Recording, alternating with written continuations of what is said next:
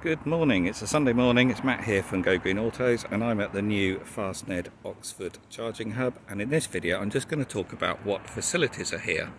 So this place is located in the Redbridge Park and Ride car park and on the plan there was to be a cafe here. I'm not sure whether they're still going to build a cafe.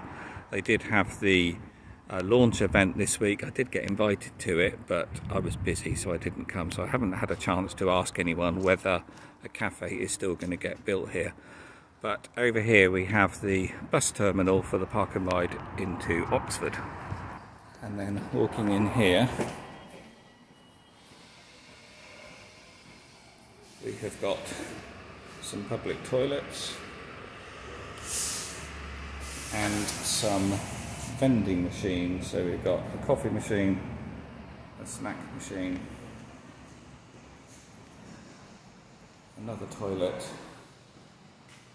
and that's it. So two toilets and two vending machines. I'm not sure though whether this toilet block is actually open 24 hours a day. I've been around looked at the signage and nothing is indicating that but uh, if like all public toilets in Oxford I suspect this is going to shut at some point in the evening. But if you walk out onto the road and turn left going towards the city centre the same direction that all the buses go.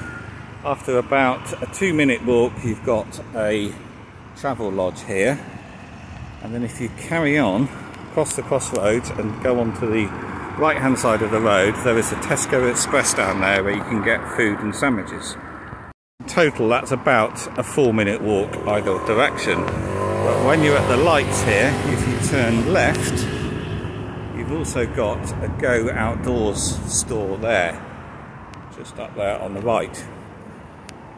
And this is at the back of the car park so you can cross the road here and enter straight back into the park and ride car park over there one thing to note with this store though is it is backwards. So you've actually got to come down here to get to the entrance because we're actually looking at the back of the store here. And then you walk up here there's tents on display.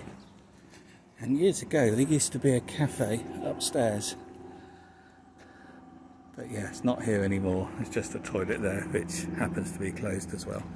So you can easily kill your 20 minutes, half an hour in the Go Outdoors store over there if you want to, and then cross the road and you can walk back into the car park this way, which is actually the exit that you come out anyway. Also in the Travelodge Hotel here, there's a little cafe in the corner there as well. So I'm not sure whether that is available to use if you're not staying here but you could check that out as well. So this place has only just opened, it's summer 2022, so there's not an awful lot here, but if you're like me, you get to a certain age, having some toilets is the most important thing, so we got them there. So I'm over there on the end there getting a free supercharge.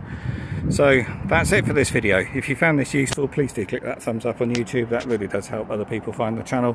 I've got other videos on the channel about this charging hub, so do check those out using the search function if you want to see more. And I'll see you on the next video.